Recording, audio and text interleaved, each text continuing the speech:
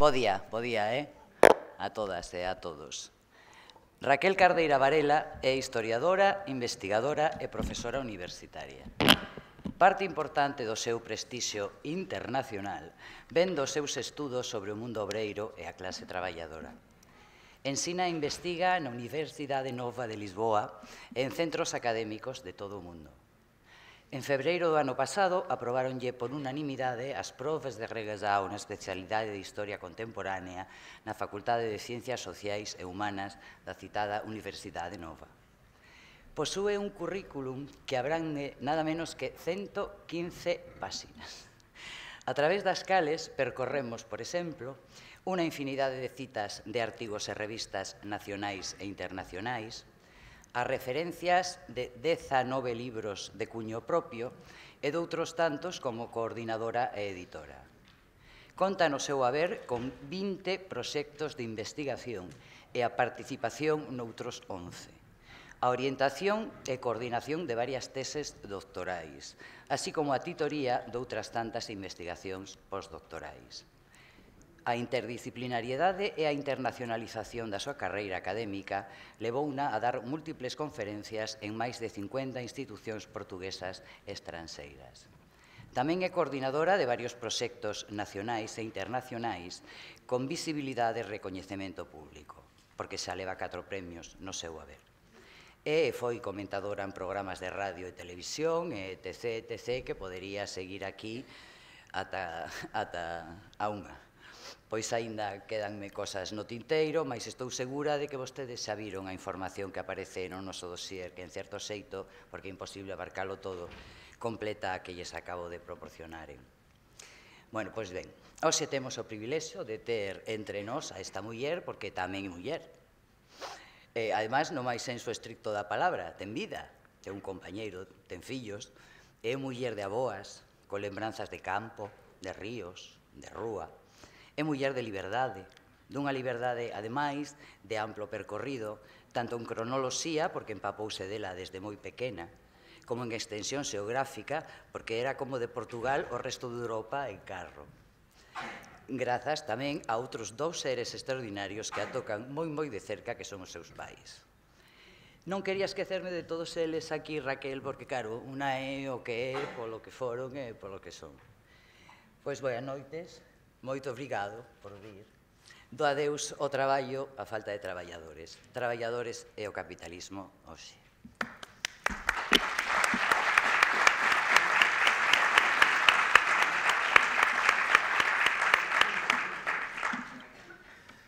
Bom dia a todos. Eh, muito obrigada, Maria, pelas palavras e muito obrigada a todos vós por estarem aqui. Eu sei que alguns de vocês, sobretudo os mais jovens, vieram porque eu falo português. Mas eu vou ficar ansiosa se só falar português. Porque eu, para falar uh, cientificamente, vou falar muito rápido e eu acho que nem todos vão entender. Uh, é muito difícil para mim falar devagar. Uh, então eu vou namorar entre o português, o portunhol e vocês não vão ficar tristes comigo, porque eu, como professora, tenho um grande. Uh, fico muito uh, mal se há aí alguém que não me entende. e eu queria muito que todos me entendessem. bom, eu hoje vou falar convosco, tentar falar da reestruturação produtiva de trabalho que teve lugar na Europa e nos Estados Unidos, é la verdade, no centro produtor do capitalismo mundial. E eu não vou, não vou falar da exploração uh, de los trabalhadores e das suas condições de, de trabalho hoje, porque isso é amplamente conhecido de todos. Ricardo fez uma belíssima exposição sobre a situação da classe trabalhadora. Ninguém duvida que se há 60 pessoas que têm metade da riqueza mundial, uh, não há, é, é, um dado adquirido uh, que a classe trabalhadora está miserabilizada e devastada. O que eu queria falar com vosotros, falar com vosotros, é de por quê. porque la explicación no puede ser que la burguesía ha sido muy inteligente, porque cuando hay un juego de dos campos, si hay un que gana, lo otro pierde. Y si hay un que es muy bueno, es porque lo otro es muy malo. Uh, entonces, lo que quería pensar con vosotros es porque la clase trabajadora ha sido derrotada. Y esto también es un concepto polémico, porque no es raro que el mundo de izquierda, el marxismo, se sigue defendiendo que hay conquistas sociales o que no, o que no hay una derrota histórica. Yo creo que hay una derrota histórica y que ella no empezó con la queda del muro de Berlín, sino antes, con la crisis de 81-84, que lo símbolo mayor es la derrota de los mineros en lo caso de Margaret Thatcher, pero que en la verdad se ha pasado, voy a intentar defenderlo en todo el mundo al mismo tiempo. Eh, y creo que las razones por qué esa derrota se dan tiene responsabilidad de las direcciones políticas y sindicales de la clase trabajadora occidental, mayoritariamente situada en el norte occidente del mundo. Y en la segunda parte voy a intentar decir o, dar unas ideas de lo que se podía cambiar para que la clase trabajadora salga de una posición defensiva de sucesivas derrotas para una posición ofensiva. En la segunda parte también entraré ciertamente en polémica con las opciones de la izquierda hoy y eh, con ambas las polémicas sobre por qué aconteceu y lo que podemos cambiar, no tengo certezas absolutas de nada. Uh, lo que hago son cuestiones, bueno, yo soy historiadora de trabajo, entonces me gusta mucho hacer cuestiones al pasado y me siento más confortable al explicar el pasado do que hacer proyecciones de futuro pero tampoco nos pueden pedir a nosotros en la academia que nos centremos únicamente en nuestra especialidad académica, porque el mundo nos convoca a contribuir con ideas sobre la tragedia que estamos atravesando y cómo lo podemos cambiar. Pero es verdad que tengo mucho menos certeza sobre las soluciones de que sobre los problemas. Entonces, para hablar de la cuestión de la reestructuración productiva, lo creo que la primera idea muy importante de acentuar es que el Estado social, nacido de la Segunda Guerra y de la Revolución Portuguesa y de la transición española, que para mí, que soy estudiadora de las revoluciones, es una situación pre-revolucionaria, no es una situación revolucionaria, pero tampoco es una transición pacífica, y la queda de los coroneles en la Grecia. Hay dos grandes momentos donde se construye el Estado social eh, en Europa, eh, que es el 45, 47 y 74 en la Europa del Sur. El Estado social es una medida contrarrevolucionaria, es una medida de, para evitar revoluciones. No lo creo que sea hoy. Hoy creo que es una medida de embate con la burguesía, pero no, ha hecho así en 45, 47, 74, 78. Lo que se pasó es que en Europa los trabajadores estaban armados en 45 y hubo una división en Alta y Potsdam entre Stalin, Roosevelt y Churchill que hay colocado encima de la mesa, el capitalismo europeo estaba destrozado, físicamente destrozado. Y no fue solo el plano Marshall, que en la verdad la mayoría es un plano militar, la mayor ayuda financiera es militar, no, es, de, eh, no es simplemente ayuda económica a reconstrucción, que ha cambiado la situación.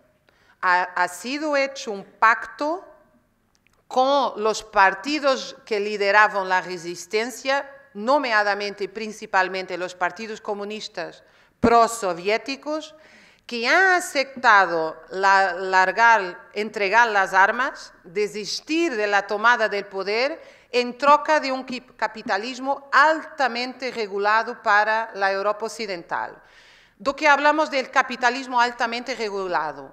de un sector de la economía nacionalizado, de la prohibición de despedimiento y, claro, de una serie de leyes laborales como vacaciones, etcétera, que han creado un conjunto y de, una, de un Estado social universal que efectivamente ha reducido la desigualdad. Porque Estado social no es lo mismo que asistencia social, y lo voy a desarrollar esto. El Estado social es una universalización que eleva los salarios de los más bajos, porque la gente se va toda al mismo hospital. Es diferente de la asistencia social que es focalizada, de acuerdo con la pobreza, que es lo que vivimos hoy. Y esa es la mi segunda idea.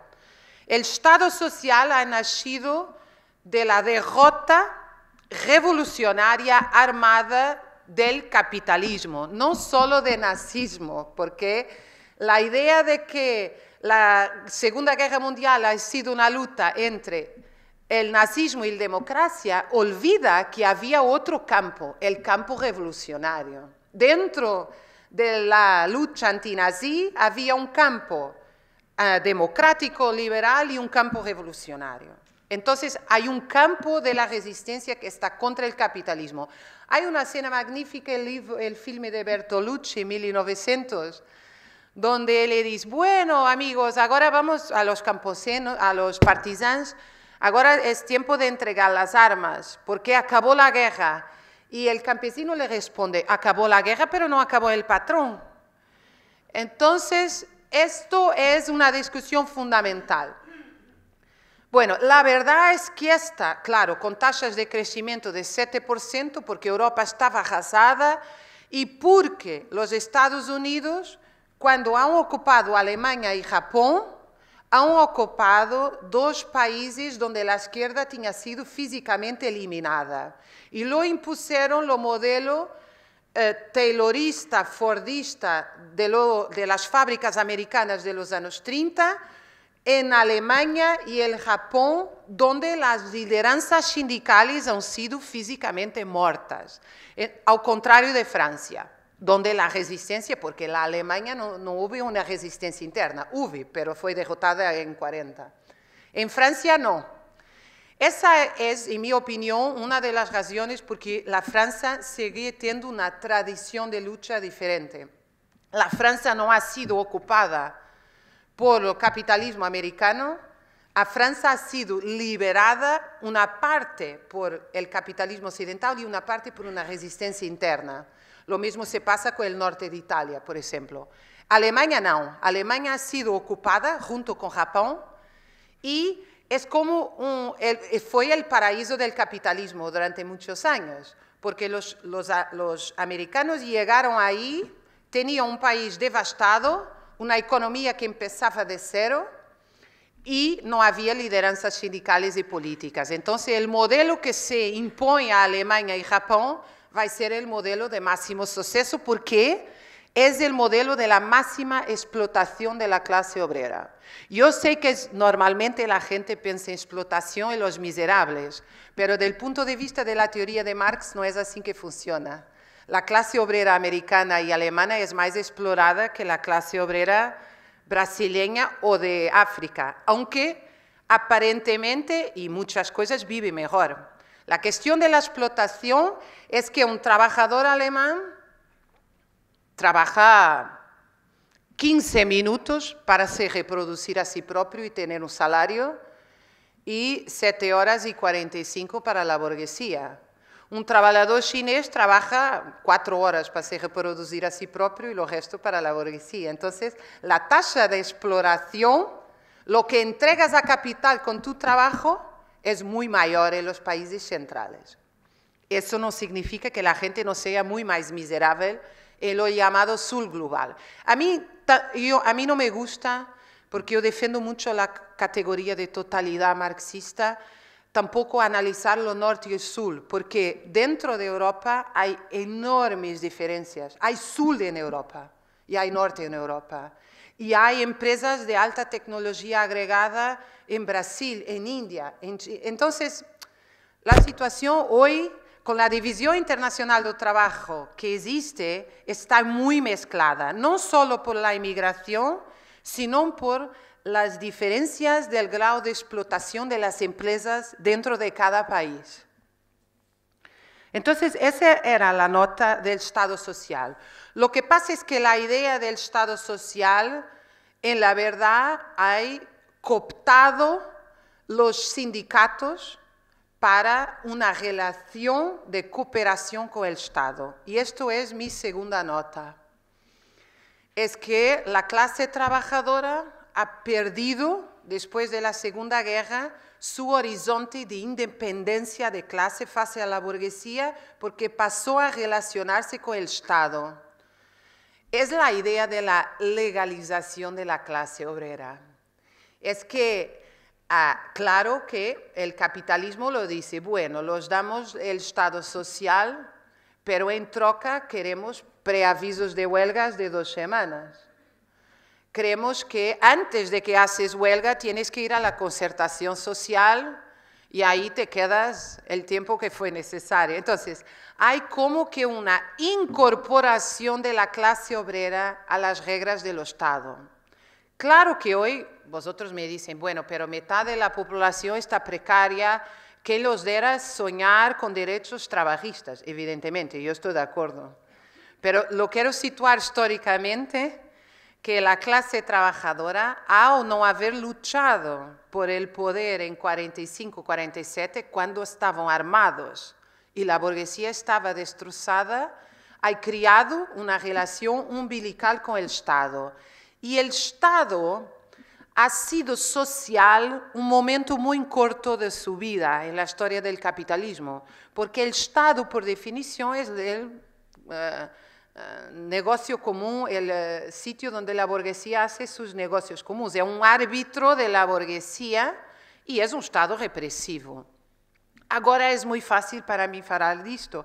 A 15 años atrás era más complicado, pero ahora, después de las leyes de restricciones eh, de los derechos sucesivos, laborales, incluso después de la pandemia, políticos de circulación y otros, es evidente la deriva bonapartista de los estados llamados estados democráticos.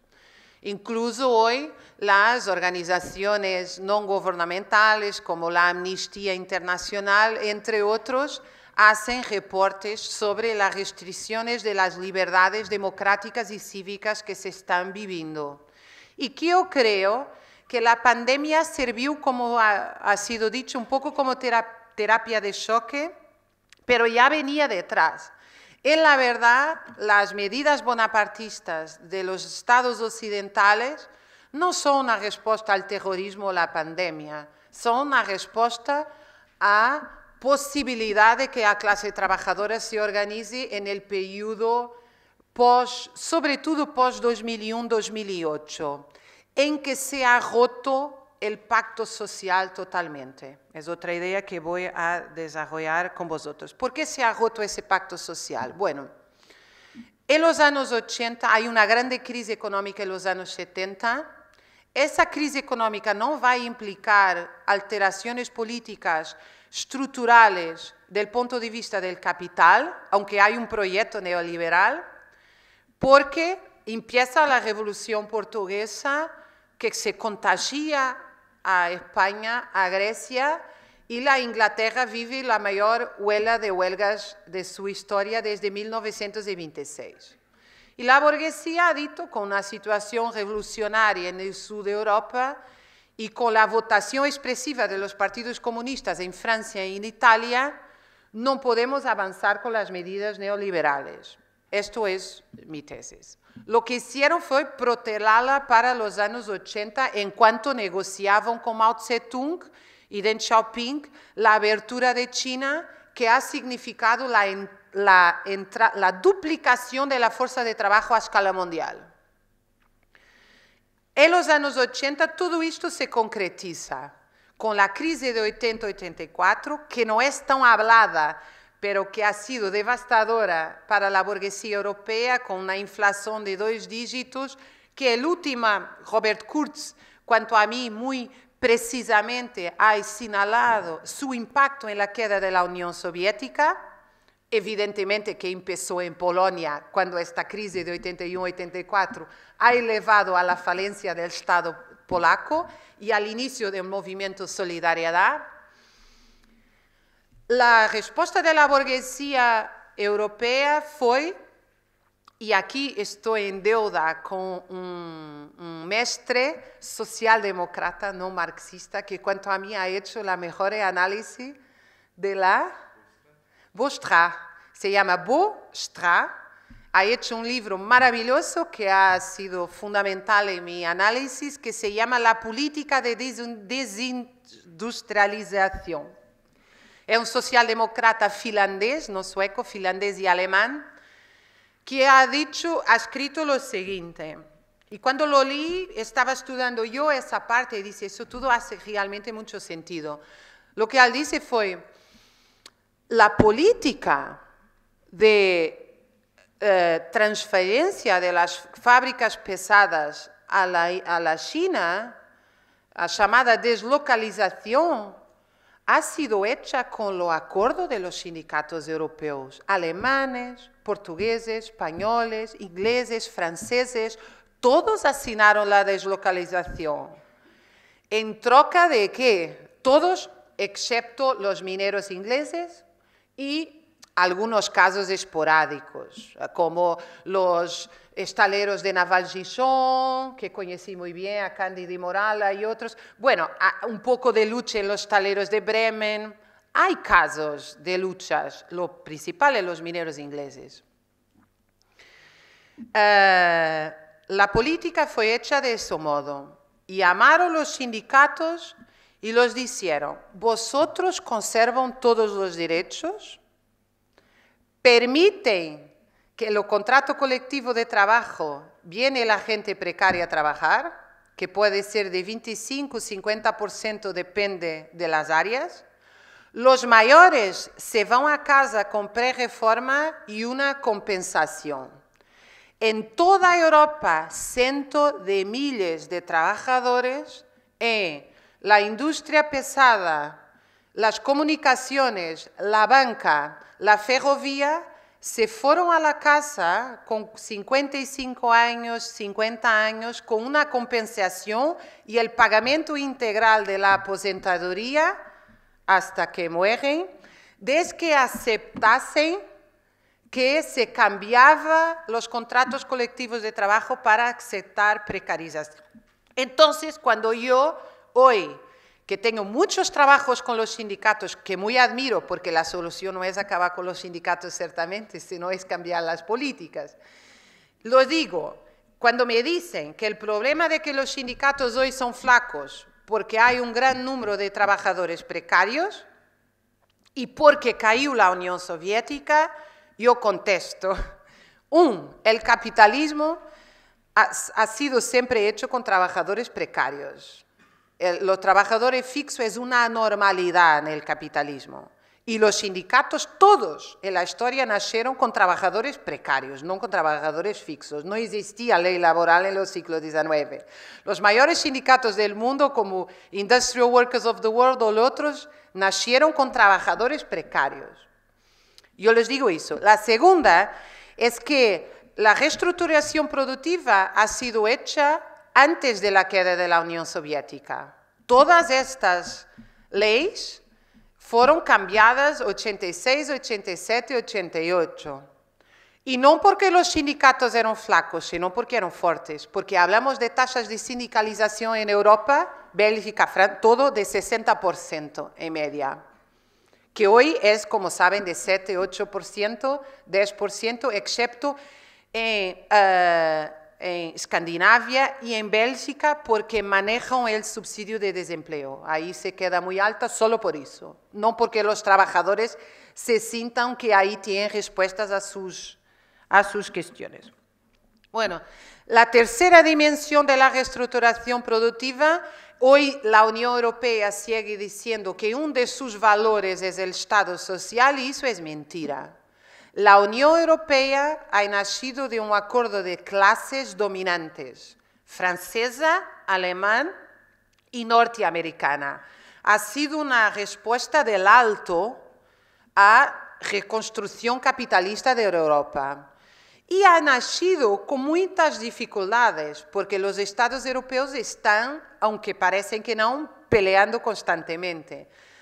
Eh, ha nacido un embrión en 51 con la comunidad de Lazo, la SECA, después de los años 70 se desarrolló un, un poco, pero la fuerza de la Unión Europea que conocemos hoy no es de 51, es la fuerza de ordo neoliberalismo alemán después de la reunificación alemana. El diseño hoy de la Unión Europea es el diseño ultraliberal alemán que ha nacido a partir de 91-92. El Estado social no tiene nada que ver con esta historia. En la verdad es lo contrario. El Estado social ha nacido 45-47 hay un, filme también muy bueno sobre eso que se llama Los espíritus de 45 de Ken Loach. El Estado social ha nacido ahí y cuanto a mí, ha sido empezado a destruir con la Unión Europea. Entonces, cuando la Unión Europea se, estructura como orden neoliberalismo alemán, empieza a destruir el Estado social, pero lo cambia no por nada, lo cambia por lo asistencialismo social, que es lo que vivimos hoy en Europa. La diferencia, yo he escrito un libro sobre eso donde intento discutir los dos conceptos. Asistencia social y Estado social no son lo mismo, porque el Estado social es un problema para el capital, porque trata toda la fuerza de trabajo igual. Entonces, del punto de vista de la teoría del valor, el hombre que recoge la basura, el médico de la enseñanza, el obrero, no valen todos lo mismo. La vida de ellos para un capitalista no tiene lo mismo precio. Porque lo de que recoge la basura, tú puedes mal alimentar, mal cuidar, y se puede quedar enfermo a los 50 años, que será rápidamente sustituido por otro. Con un médico tiene que el salario de reproducción, lo que estoy diciendo es que para el capitalismo, la reproducción de su fuerza de trabajo, de los trabajadores que son de facto su propiedad, no cuesta todo lo mismo. La asistencia social lida con la fuerza de trabajo como un capitalista. Entonces, si tú eres pobre, por ejemplo, vas al hospital y no pagas. Pero si es eh, trabajador medio, vas al hospital y tienes que pagar un porcentaje. Lo mismo se pasa con la escuela de tus hijos. Eh, hay una panoplia de leyes en toda Europa que se eh, pagan la reproducción de la fuerza de trabajo, escuela, salud, etc., de acuerdo con tus rendimientos. Esto es de acuerdo con el precio de tu fuerza de trabajo para el capital. Un problema cuanto a mí gravísimo es que la izquierda haya abrazado esta teoría. La primera es que ha abrazado la teoría de lo asistencialismo social, como si el problema principal de la izquierda fuese o, el único problema fuese la situación miserable de las clases trabajadoras y eso ha elevado a un peso absolutamente, cuanto a mí, enganoso en la idea de aristocracia obrera, ya que voy a desarrollar esta idea. Para decirlo muy directamente, la izquierda tiene una política para las franjas miserables y no tiene una política para la clase obrera más eh, organizada y estructurada porque la considera que ah, su problema no es un problema mayor, el problema mayor es de las franjas marginales de la sociedad. Y eso, creo, ha afastado a la izquierda de la clase obrera. Y, eso tiene que ver con el concepto de aristocracia social que la voy a desarrollar. Entonces, lo problema de la asistencia social es, una cuestión amplia que ha tocado todas las, las puntes de la sociedad. Lo principal, evidentemente, es que fue abandonado la defensa del derecho a trabajo y sustituido por la defensa del derecho al subsidio de desempleo. Entonces, ningún programa hoy de la izquierda tiene como bandera el derecho al trabajo como el derecho a vida, el derecho al sentido de vida. Aunque puede estar ahí al fin, toda la propaganda de izquierda es para garantir que la gente no se muere de hambre, que tiene subsidio de paro, que si está dolente tiene ayuda, eh, que hay ayuda a los cuidadores, etcétera, etcétera. Todo que es importante, que yo defiendo, claro. Pero esto es la política, no es la política de empleo, es la política de los sectores ultra precarizados y desempleados. Y la izquierda incluso aceptó que el desempleo, que es la forma del capital gerir la fuerza de trabajo, hay dos formas del capital gerir la fuerza de trabajo en capitalismo, no hay tres, hay dos solamente, o con una dictadura que prohíba los sindicatos o con desempleo. No hay otra forma de controlar los salarios en el capitalismo. O tú crías una dictadura y prohíbes los sindicatos de partidos y la gente no lucha por aumentos de salarios, o tú crías un ejército industrial de reserva, como lo decía Marx. Tú tienes un número de desempleados permanente, lo que hace que los empleados se sienten permanentemente amenazados y ese equilibrio baja el costo del, salario. El Fondo Monetario Internacional, cuando ha hecho los programas de resgate en Portugal, uh, ha escrito isso ipsis verbis. El desempleo actúa como regulador de los sueldos en Portugal. Entonces, es que descarado lo asumo de eso.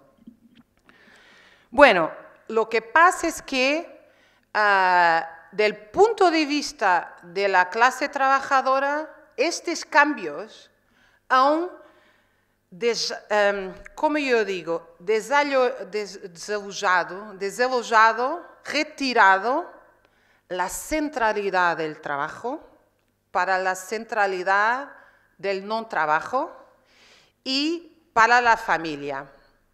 Voy, a defender esto como. Porque la, otra idea de cambiar el Estado social por Estado asistencial y que es muy importante en la Europa del Sur es el Estado familiar, lo que Marx llamaba el salario familiar. Que vosotros saben que hay varios tipos de salario. El salario directo, que está en la folla, cuánto ganamos, el salario real, cuánto puedes comprar, que está conectado a la inflación y otras. Hay un salario relativo, que es el salario versus la productividad, que tiene constantemente caído de forma dramática en toda Europa y Estados Unidos. La gente trabaja cada vez más y gana cada vez menos. Eso es la relación del salario relativo. Y hay un salario familiar. En mi opinión, la reestructuración productiva en Europa solo fue aceite porque en este momento, cuando los sindicatos asignaron que pueden entrar los precarios, yo utilicé en mi libro la expresión un poco dura, los padres han vendido los hijos, porque al aceptar un porcentaje enorme de trabajo precario, lo que estaban aceptando es que sus hijos van a ganar mucho menos. Y lo que aconteció fue absolutamente previsible. Estamos retornando a una familia proletaria del siglo XIX, donde hay hijos y nietos viviendo con los padres hasta los 40 años. Y lo que es increíble es que me acuerdo de tener discusiones en el Instituto de Ámsterdam, donde mis colegas decían, ah, sí, porque la Europa católica, las madres no son capaces de dejar los hijos. Yo diría, mira, en la Europa católica portuguesa, donde hoy los hijos se quedan en casa de los padres hasta los 40 años, era la misma donde salían los hijos para trabajar en 1970 con 12, 14 años de ir a la guerra colonial a los 18. Y cuando empezaban a trabajar al 22, entregaban los salarios a los padres para ayudar a los padres. Entonces esa explicación antropológica de la Europa católica no funciona. La, la, cuestión por qué la gente se está en casa de sus padres es porque el salario no permite la, reproducción de la fuerza de trabajo. Todo esto es una explicación idealista y falsa. quien está aquí, nosotros, yo estaba recientemente hablando con mi familia de eso, que nosotros eh, vivimos numa, eh, somos, tenemos una vida muy confortable y estamos pensando en ayudar a nuestros hijos para que puedan salir de casa, porque si no, no pueden con el precio de la habitación. Es que el salario, no es que el salario no garantiza la alimentación, eh, los hijos, la ropa, la habitación. Hoy un salario de un joven que empieza a trabajar en Lisboa, la totalidad del salario no paga un apartamento de 40 metros cuadrados. Esto es la realidad absoluta que estamos a vivir. Entonces, yo creo que la otra cuestión, porque la clase obrera ha aceptado esto sin grandes conflictos sociales, es porque hay un salario familiar porque quem ganhava aposentadorias altas está sosteniendo las gerações seguintes em grande medida. Quando vos digo isto, não vou aburri-los com estatísticas, pero há estatísticas muito sérias sobre isso, que a maioria de los parados são sostenidos por la família, não por el Estado, al contrário do que se pensa. Então, há, de facto, um salário familiar atuando aqui eh, en sur de Europa. Y en norte de Europa lo que se pasa es endeudamiento de Estado. Mis colegas holandeses y escandinavos hablan de sus hijos que salen de casa con 18 años. Salen con un empréstimo estatal, que es una forma de también de financiar las empleadas, porque es una fuerza de trabajo que está siendo financiada por el Estado. Eh, podemos discutir lo que esto eh, significa, pero lo que quiero señalizar es que del salario familiar en el sur de Europa y el empréstimo estatal del norte, nada de esto pasa por disminución de los lucros de las empresas que pagan los sueldos justos a los jóvenes. Todo pasa por una intervención exterior. No quiero robarle mucho eh, el tiempo. Bueno, vuelvo a la cuestión de la aristocracia operaria. Yo creo que esto ha sido un concepto muy mal usado por la izquierda todo el tiempo. No lo sé aquí en España, pero ah, yo tengo visto en Estados Unidos mucho, eh, en eh, países del norte de Europa que conozco bien, y Portugal, cada vez que un sector de la clase obrera que tiene un salario decente entra en huelga por mejores condiciones de trabajo, y hoy la cuestión es, si vosotros vamos a hablar con ferroviarios, con trabajadores del metro, con médicos, con profesores, la cuestión hoy no es tanto el salario. Bueno, hoy con la pandemia y la inflación también es el salario. La cuestión es que esta gente se está muriendo a trabajar por exceso de trabajo. Eh, el, horario de trabajo se tornó insoportable. La palabra más dicha, nosotros coordinamos, por eso coordinamos tantos proyectos, es que no soy una supermujer, nada dice, es que trabajo con 20 personas, somos muchos, por eso aparece un currículo tan grande. es que es un trabajo mucho colectivo. Y nosotros tenemos un observatorio para las condiciones de vida donde hicimos un inquérito a la clase trabajadora de modo de vida y trabajo hicimos 12 categorías, personal de voo, y no hicimos uh, como uh, eh, 50 inquéritos. Hicimos entre 25 a 30% de la clase trabajadora portuguesa fue inquirida en nuestros inquéritos. La enseñanza lo han, han contestado 20.000 profesores. Uh, entonces tenemos una porcentaje brutal. Y lo padrón es siempre lo mismo, es una clase trabajadora altamente endividada, sobre todo con la habitación, la vivienda, una clase trabajadora ultra endividada con la vivienda, que no tiene crecimiento real de salarios a 15 años, y cómo hay colmatado el no crecimiento real de salarios, con horas extra que brincamos, es la permanencia de lo trabajo extraordinario. El trabajo extraordinario se tornó, y claro que Portugal probablemente es una situación peor que España, porque es un país peor que España, que el Estado español, pero eh, está diseminado en toda Europa porque yo trabajo con los datos de Eurostat y los conozco bien. El trabajo extraordinario, que es una respuesta al modelo de capital just in time, está diseminado. Bancos de horas, trabajo extraordinario, laboración continua, que trabajas el sábado domingo. Hoy, un trabajador de la Volkswagen en Portugal con un contrato protegido no puede no trabajar al domingo. No puede escoger no trabajar al domingo. Por eso lo contestamos la idea de trabajo digno de la OIT.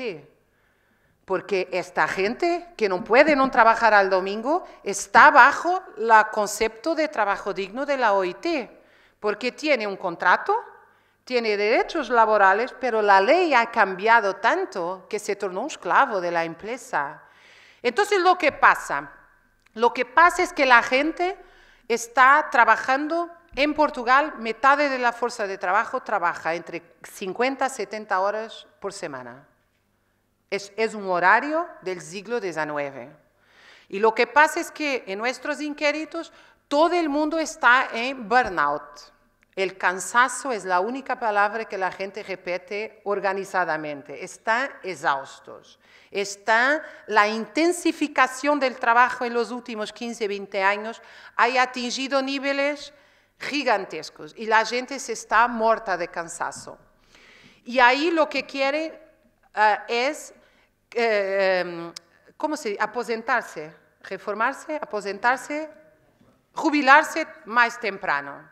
Entonces, muchas veces los sindicatos vienen con nosotros y dicen, queremos un estudio para que, nos, eh, que sea considerada profesión de desgaste para que nos jubilemos más temprano.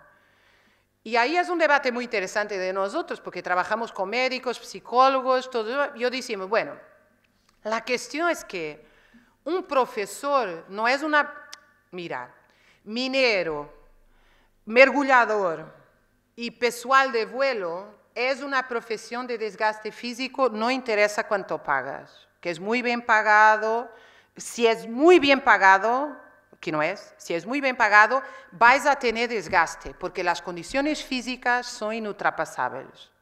Un profesor no es una profesión de desgaste. Yo, si me dan buenas condiciones de trabajo, puedo enseñar clases hasta, hasta el último día de mi vida, porque yo adoro, no me desgasta. Lo que me desgasta es que yo no trabajo solo como profesora, que es lo caso de las enseñanzas que estudiamos.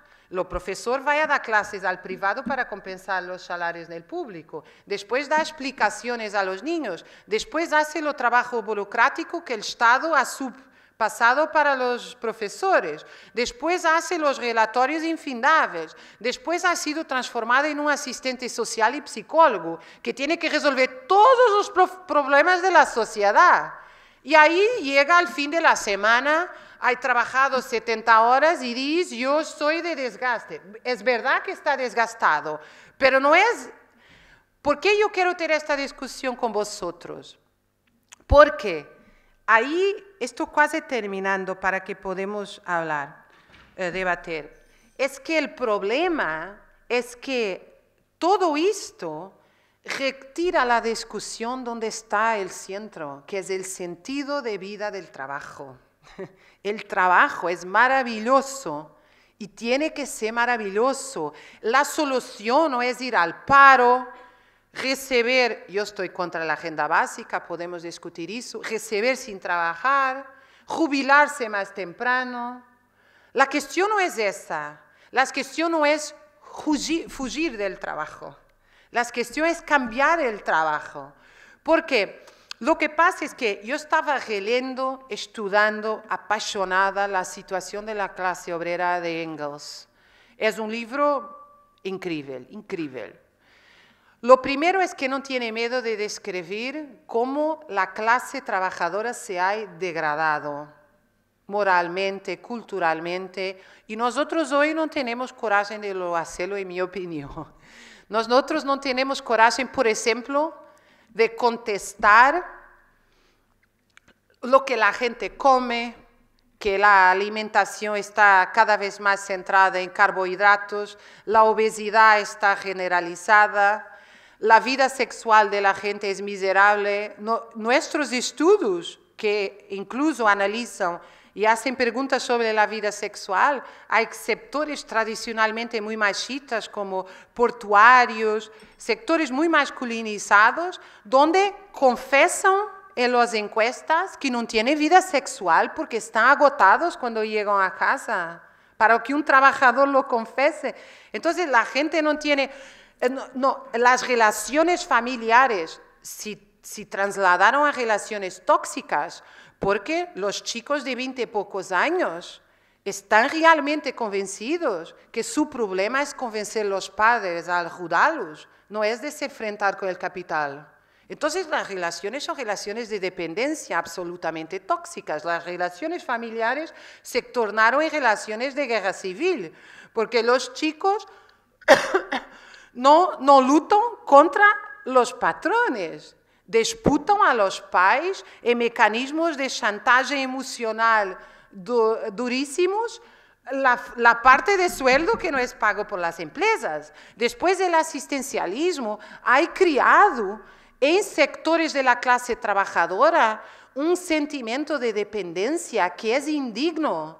La gente está permanentemente yendo a las dependencias del Estado, pidiendo subsidios, ayudas a la agenda, ayudas a la electricidad, todo tipo de ayudas.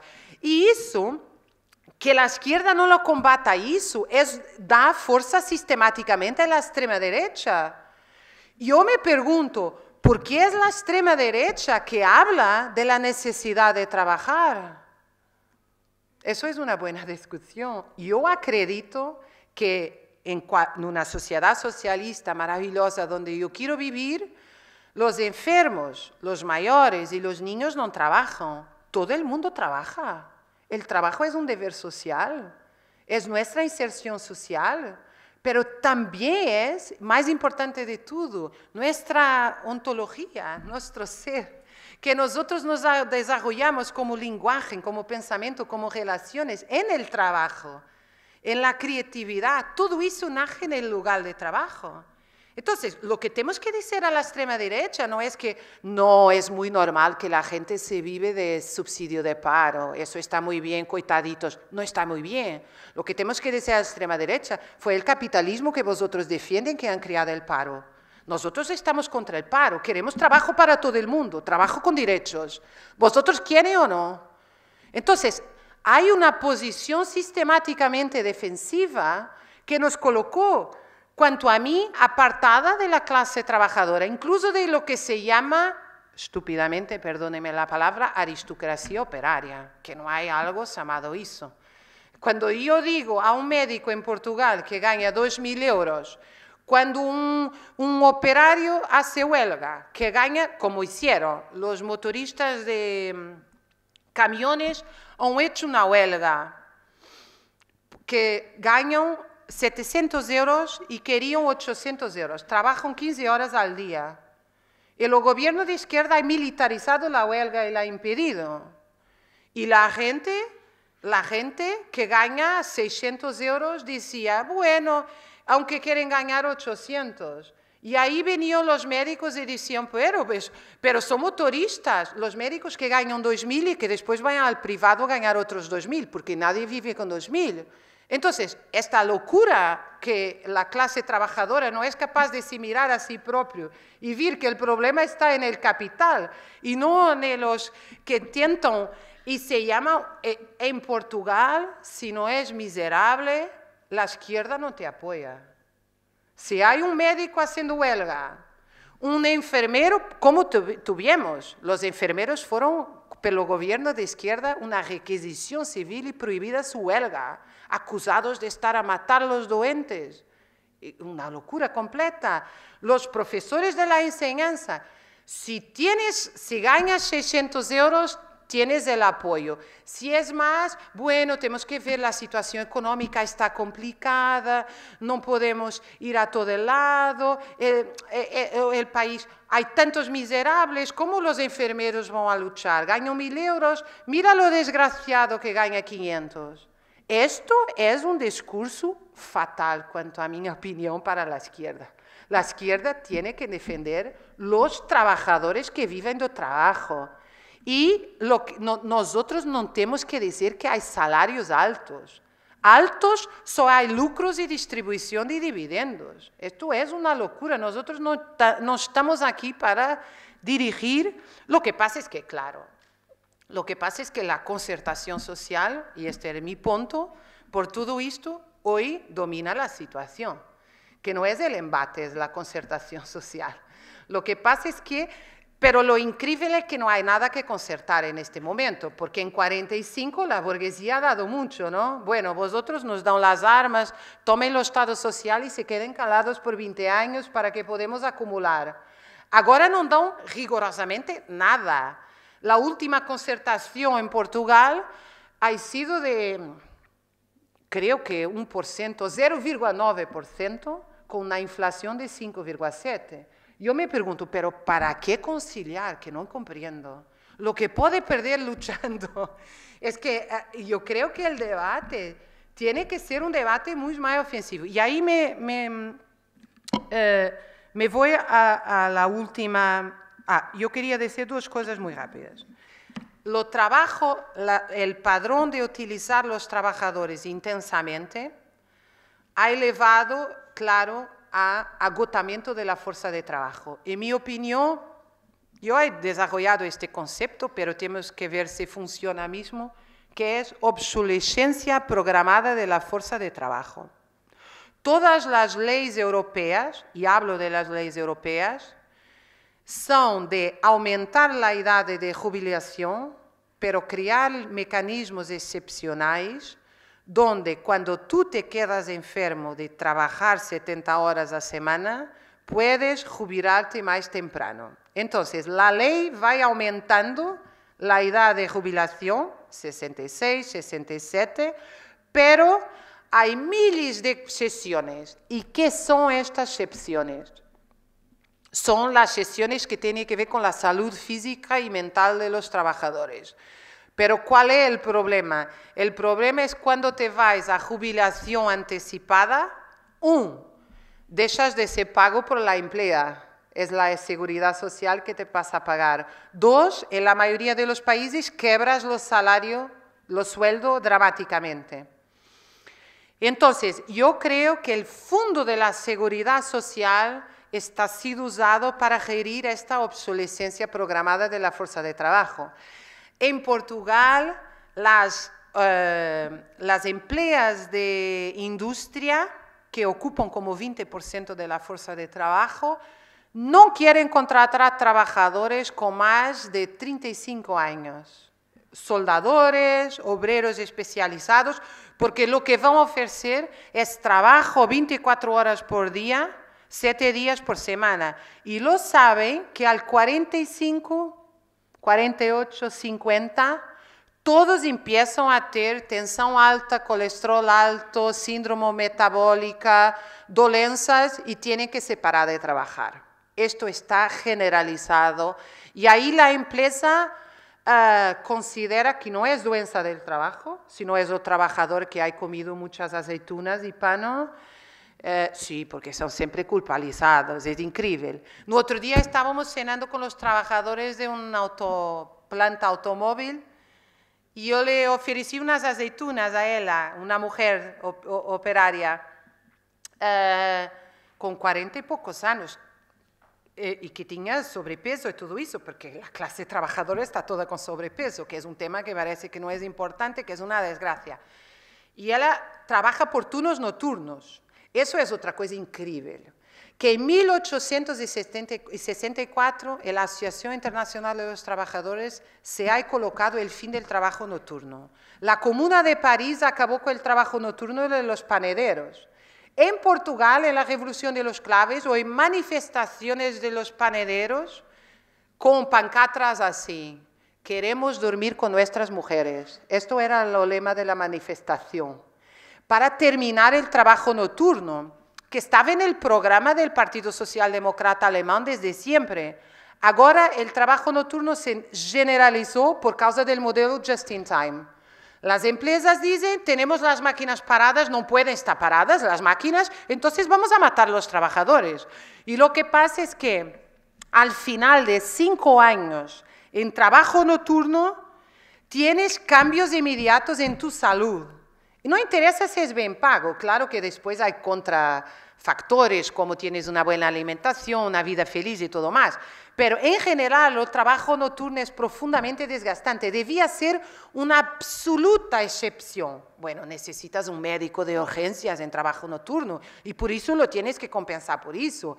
Pero no necesitas de más nada, que es una locura lo que tenemos las fábricas de Europa y de Estados Unidos trabajando 24 horas por día. Generalizóse esto. Y lo que pasa es que se crearon leyes para que los trabajadores, yo estaba hablando con ella, y ela teve um ataque cardíaco. Essa empresa que estamos estudando com cardiologistas, a morte súbita aparentemente ha disparado depois da intensificação do trabalho post-troika. Então, estamos fazendo esse estudo para compreender o que passa. Eu le disse a ela, toma uma aceitona. E ela me disse, ai, o médico disse que não podia. Eu não pode porque por causa do coração. Yo, y ahí estaba un humorista conozco muy engrasado, Pedro. Y él dice, ¿por qué la aceitona te va a entupir? Que era una situación. Ella trabaja 24 horas por día. Una mujer con 48 años que sirve feijoada y caldo galego cocido a las 4 de la mañana y después vaya a una línea de montaje que no es como de Charlie Chaplin, que trabaja un, un tapete, son dos tapetes. Vosotros conocéis una planta automóvil hoy que trabaja 24 horas por día, no tiene un tapete, tiene dos.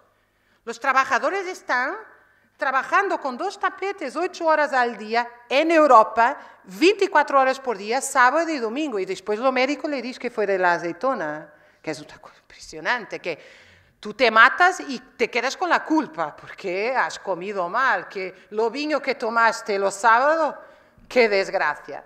Bueno, esa es la obsolescencia programada de, de la fuerza de trabajo. Yo creo finalmente que tenemos que pensar todas estas cuestiones si queremos llegar a los trabajadores. Y esto tiene que ver con el sentido del trabajo y con el modo de vida. No creo que podemos llegar a la mayoría de los trabajadores y, y aquellos que son determinantes de la producción, porque infelizmente no en todos tiene lo mismo en la producción. La verdad es que hay sectores que tienen mucho más fuerza potencial de, lucha que otros. Y creo que desde el punto de vista de totalidad, la idea es que se junten todos. Pero creo que tenemos que analizar las cuestiones del modo de vida y del sentido de trabajo. Yo, si fuese trabajadora, eh, y soy trabajadora de la enseñanza, pero si fuese trabajadora de una fábrica, de un maquinista, de un hospital, ¿por qué yo voy a hacer huelga por 10 euros de aumento de salario? Nadie faz huelga por 10 euros de aumento de salario. La gente tiene que tener derecho a soñar. Nosotros quitamos a la clase trabajadora el derecho de soñar y transformar, porque la izquierda se colocó en la defensiva. A abandonar el programa socialista de transformación acreditando en estas barbaridades que el neoliberalismo nos dice, de que comunismo y, y,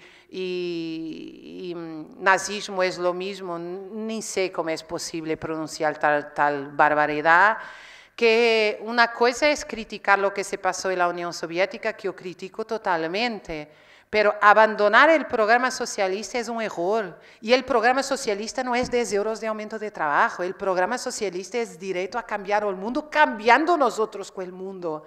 El programa socialista es que yo tengo más tiempo para hacer el amor, que yo tengo más tiempo para pasear, que yo tengo más tiempo, que mi trabajo tiene sentido, que mi trabajo lo que pienso ejecuto, que yo no soy una mera apéndice de la máquina, que mi individuo se puede desarrollar con el sentido de trabajo. Entonces yo creo que tenemos que traer esto todo y dejar el programa asistencialista, que es lo que tiene dominado absolutamente. Nuestro objetivo no es solo que la gente no pase hambre. Esto no es un objetivo para la izquierda, eso es lo mínimo y lo básico. Nuestro objetivo es cambiar la vida de los individuos. Es por eso que queremos cambiar el mundo. Es porque queremos que la vida de los individuos gane sentido creativo, sentido relacional, sentido acabar con la alienación que se turnó la vida de la gente. Y entonces yo creo verdaderamente que esto no se puede hacer sin una crítica central al Estado, sin una crítica central a la asistencia social y sin una crítica constructiva a lo que son las direcciones políticas y sindicales. Muchas gracias por vuestra atención.